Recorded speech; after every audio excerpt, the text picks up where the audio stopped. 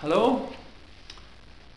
Attack on America, 9-11, soziologische Befunde aus dem Jahre 2001 und 2002 in monatlichen Heften erfasst und veröffentlicht, damals, heute, zehn Jahre später, unveröffentlicht, erneut vorgetragen hier für YouTube, mit dem Hintergedanken, dass die Menschen heute, sei es die damals nicht dabei gewesen sind oder diejenigen, die das nicht besonders interessiert oder die damals das mit Interesse verfolgt haben und auch inzwischen den Verlauf der ganzen Informationen und Propaganda mitbekommen haben, äh, sehen können, wie sich das Bild der damaligen veröffentlichten Tatsachen unter Umständen verändert hat und womit das zu tun haben kann. Diese Beiträge sind also zehn Jahre alt, wurden damals so veröffentlicht in einzelnen Heften monatlich und werden jetzt unverändert vorgetragen. Der Beitrag Nummer 15 aus dem Heft des Februars 2002, noch immer staunt Amerika, hat die Überschrift Global Cop. Global Cop. Am 11. September tauchte der amerikanische Präsident für viele Stunden offiziell ab. Die politische Führung reagierte und agierte. auch aus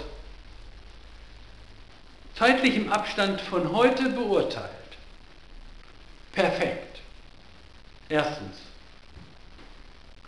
Luftraumsicherung, militärische Alarmierung, Information der Öffentlichkeit hinsichtlich der Lage, der Erfüllung der Notabwehr und der geplanten und emotionalen Notwendigkeiten nationalistische und internationalistische Orientierungen, Vergeltungsbedarf, machtpolitische Fokussierung der US-Interessen.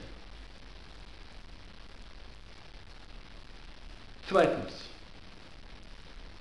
Die agitatorische Auslegung der kontrollierten massenmedialen Veröffentlichungen und Sprachherrschaft zum Antiterrorkampf hinsichtlich der Balance zwischen der Befriedigung der öffentlichen Meinung und den kurz- und längerfristigen taktischen Zielen im Rahmen des geistigen und stoffverändernden Spiels. Die USA präsentieren sich mächtig und sind nicht mächtig genug. Das Staunen über den 11. September geht weiter. Man genüge sich nicht selbst und ist auf andere angewiesen. Bin Laden sagt in dem Video von 1998, An Amerika und sein Volk richte ich nur wenige Worte. Ich schwöre bei Gott, der den Himmel ohne Säulen errichtet hat. Weder Amerika noch die Menschen, die dort leben, werden sich in Sicherheit wiegen, bevor wir diese in Palästina erleben und bevor alle ungläubigen Armeen das Land Mohammeds verlassen. Friede sei mit ihm. The New York Times am 19. Januar Qaida's greatest success has been the ability to use the tools and behaviors of ordinary civilian life to interrupt the conduct of ordinary civilian life. Rumsfeld sagt, Frankfurter Allgemeine Zeitung vom 8.12.01, Vielleicht fangen wir Bin Laden ja nie. Der Verteidigungsminister sagt, und tut es.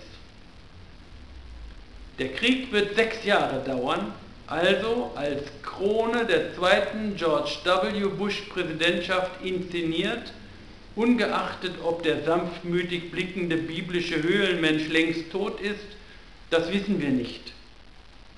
Während die Presse in Washington Dr. Johnson des 18. Jahrhunderts zitiert, nichts hilft beim Sammeln der Gedanken so wunderbar wie ein paar gut platzierte Bomben.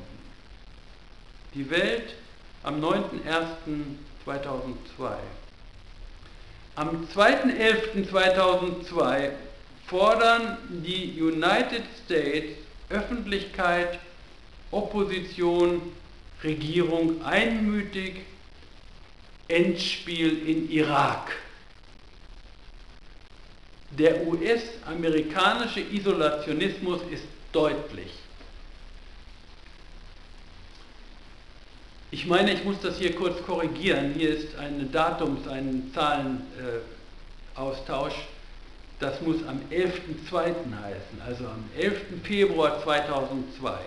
Fordern die United States Öffentlichkeit, Opposition, Regierung einmütig Endspiel in Irak. Bis dahin war der Krieg in Afghanistan. Der US-amerikanische Isolationismus ist eindeutig.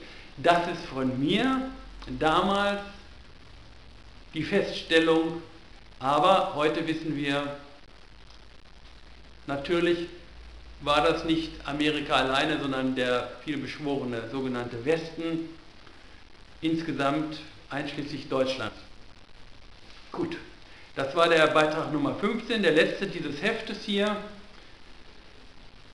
Noch immer schauen Sie Amerika aus dem Februar 2012. Danke.